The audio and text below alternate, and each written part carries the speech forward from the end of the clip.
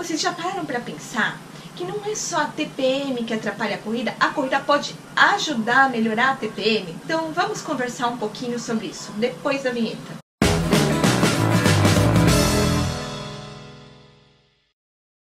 Olá, aqui é Andressa Rodrigues do Por Falar em Corrida para Elas, conversando um pouquinho com as mulheres e, por que não, com os homens, continuando a falar da TPM, mas por uma outra ótica agora. Você sabia que o esporte pode ajudar, interferir na nossa liberação humoral, ou seja, de neurotransmissores e de hormônios que podem afetar diretamente o nosso bem-estar, o nosso humor e modificar muita coisa dentro da gente. A corrida e práticas esportivas podem ser inclusive um tratamento para TPM. Sim, existem trabalhos enormes na Europa e nos Estados Unidos colocando a prática esportiva como tratamento padrão ouro para depressão moderada. Eu não estou falando em depressão leve, estou falando em depressão moderada. Então, uma coisa que já está tendo impacto na vida da pessoa. Pensa na pessoa que está com TPM e que não tem depressão e que ela está com a falta de algum neurotransmissores, que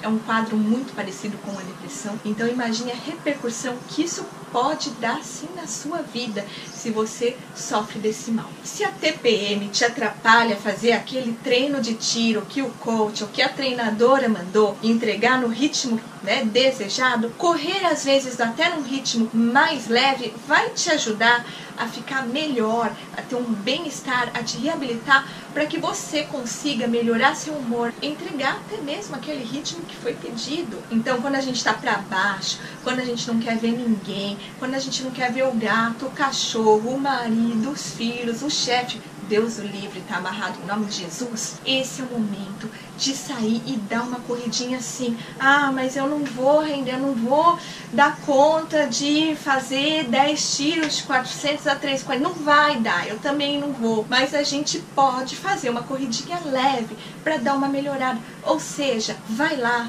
entrega o que dá, faz o que você consegue, que você vai ver. Você termina aquilo pensando, ah, nem teria treinado e eu consegui vencer hoje. Aí você vai lá no seu Instagram e coloca, melhor treino feito do que treino perfeito. Pronto, seu humor já foi lá em cima, ganhou vários likes, o amigo te chamou de guerreira, você fica pra cima. Gente, não deixa de treinar, porque é sério, a gente brinca aqui mas a gente está falando de comprovação científica em relação a neurotransmissores. Não deixa a peteca cair e vai treinar, não importa, ah, não deu para correr, vai pedalar, vai dar uma nadadinha, vai, mas saia e faça alguma atividade esportiva mesmo, se mexe, porque dá diferença. Grande parte de médicos, ginecologistas, inclusive vão indicar a atividade esportiva para tratamento da TPM. Às vezes, isso é aquela pessoa que não corre, tá? Que não faz nada, não é um corredor, como a gente aqui comunica para a maioria de vocês que são corredores, mas quem estiver assistindo que não é corredor, está procurando alternativa, essa é uma alternativa sim de você superar a TPM e até outros probleminhas. Quantas de vocês melhoraram inclusive esse padrão de TPM depois que começaram a treinar? Quantas de vocês melhoraram cólica menstrual? Porque a cólica também tem a ver com liberação de neurotransmissores e mediadores inflamatórios. Está tudo ali unido. Isso é para se pensar sim. Observa, né, como é que ficou. Vamos tentar sair para treinar. Não importa o que, que a gente vai conseguir de treino, mas a gente vai sair.